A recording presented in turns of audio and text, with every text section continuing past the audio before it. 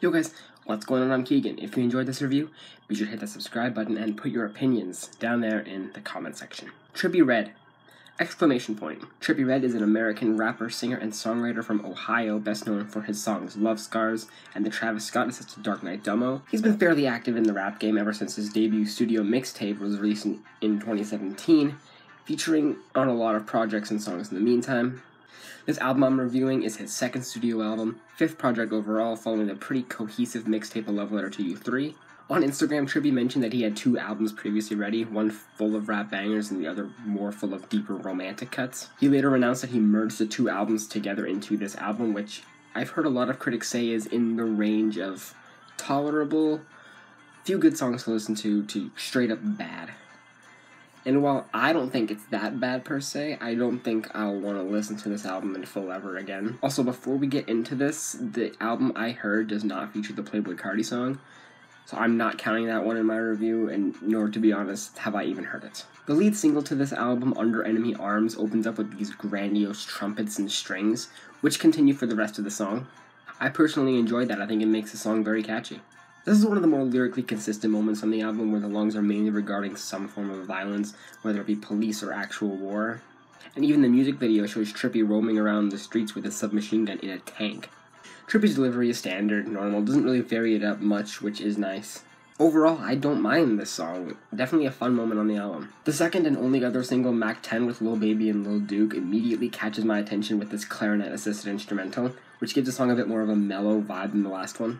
Also, it just angers me that Trippie Redd only covers the hook of this song. He would have had a great verse. Lil Duke puts on his best offset impression and does a pretty decent job on his verse, and Lil Baby, in my opinion, is the best part of this song. His flow is fantastic and actually slightly varied. Lyrically, the song is, in my opinion, the perfect mix between traditional brag rap and violence, not getting overly boring or stale on one topic.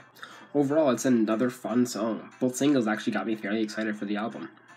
Now for the rest of the songs. The title track Exclamation Point features production by Diplo, and I'm disappointed in myself that I didn't see that sooner because it shows and it wears it like a badge of honor. And in all honesty, it should. This is the best production on this album by far. While it genuinely does sound something that is fairly radio friendly, Trippie handles the song extremely well, and the hook is probably the biggest earworm on this album. It is a fantastic opener and probably my favorite song on this album. Snakeskin took me more than my fair share of listens to warm up to, which I'm kind of surprised I didn't enjoy it on first listen. Trippie switches his flow up nicely, and the instrumental has this darker tone to it that Trippie excels in rapping over. It's a nice, relaxing song. Also, the lyrics are nice, especially on the chorus where he simply mentions to say no to suicide, and even mentioning how he is Suicide Watch. And then Be Yourself comes by and immediately kills the message, where he essentially says that if you can't be yourself, kill yourself. Which is, is an extremely bad way to try and promote this positive message about being yourself. Uh, regardless, this is where the album overall kind of starts to lose its general concept. The instrumental is pretty boring and lacks a general punch, and that could have made this song a banger. But in the end, it just kind of flops, and the outro goes on for a full minute. Just no thanks. I Try definitely tries to bring the momentum of this album back, and it doesn't really do a bad job at it. I really like the vibe of the first verse where we get this concept of dealing with thoughts but always remembering how to breathe, along with traveling around the globe with a girl, getting the luxuries of the world in different cultures. It's strangely motivational, but unfortunately, the second verse kills any idea that this song might have had, resorting back to generic rap cliches. Also, Trippie's whiny, moany delivery on this song gets pretty annoying after the second verse, so this one is probably the most middle of the road song so far. Immortal with the Game is an extremely bizarre pairing that really doesn't work as well as it wants to. However, I do enjoy Trippie singing on the hook, and his verse sounds nice. Not much else to say about that, but the game comes through with a nice verse and is quite a bit louder than Trippie is, which makes sense when comparing the two. Also, the game should never be put under autotune again, it just does not work. The instrumental is pretty skeletal aside from the faint choir and trumpets, it's just yet another generic song. Throw It Away is this traditional emo ballad led by this quiet flat guitar.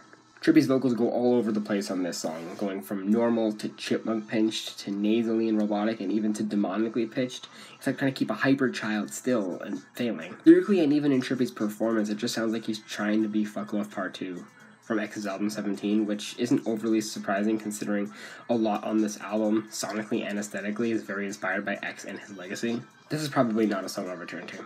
Keep Your Head Up is the point where this album starts to nosedive completely and only makes me respect the first half of this album a lot more. First off, the whole Keep Your Head Up thing that the song is named after is really only just for the hook. The verses are standard brag rap. The only positive of the song is the production, which is this deep, moody, almost grimy bass thumping and chill synths. And Trippie's vocals are also fairly okay, but it's just not a song I'm interested in returning to. However, Riot is probably the only remaining song I would return to. The chorus has some nice energy halfway. Also, we have kind of returned to the realm of lyrical contradictions again, where he says, You should be dying and why are you dying in the same damn chorus. Although it does tend to stick to a central theme, mainly about violence, which kind of seems to be what Trippie can write about consistently without branching off. Overall, it's a fine song, and it's definitely a positive moment on the album. Everything BOZ with Coi Leray, Trippie's girlfriend, is actually fairly okay. Especially Trippie's part. He's got a nice, clean vocal delivery and a varied flow. I find the line, I can teach that bitch my language like Rosetta Stone, extremely interesting and catchy at the same time. Because while it could mean a whole different native tongue, literally, it could also mean like gang language or something else. Coi Leray has an interesting rap delivery, sounding extremely nasally, gritty, and kinda irritating. But her singing at the end is lovely, almost sounding like she could be an experienced R&B singer. Definitely not the worst song, but also not the best. Lil Wayne is probably the most worthless song on this album. The song isn't even two minutes long, and it's gone in a flash. It really just feels like an interlude. Also, no reference to Lil Wayne at all. I have no clue why it was named that. Not only is it pretty worthless, it's also extremely underwhelming, as this flow that Trippie uses on the verse is probably the most engaging flow on this whole album. And the production isn't that bad either. It has these higher pitched flat synths that meld really well with Trippie's voice. I just wish that this was made into a full song. It doesn't do much for me on this album. Finally, the closer signing off doesn't really even feel like a closer. It just feels like a normal song aside from the obvious title. There's no special send off, no fancy instrumentals to signify something different, not even a unique message. It just ends after this two minute closer, and in all honesty, it's kind of about time the album did end. Overall, this album can be summed up in one simple word underwhelming. After the enjoyable, fun, and memorable project that was A Love Letter to You 3, perhaps the bar was set a little bit too high, which is fair. Not everything can be up to a certain level. You gotta try something new, branch out a bit, which Trippie did on some songs here. Case in point, the opener. Supposedly, A Love Letter to You 4 is meant to come out sometime in a few months, so I just hope that project can bring Trippie's reputation back. I'm honestly feeling about a 5 out of 10 on this album, and that's being fairly generous. Well, guys, hope you enjoyed that review. Thank you all so much for watching and I'll see you in the next one. Peace.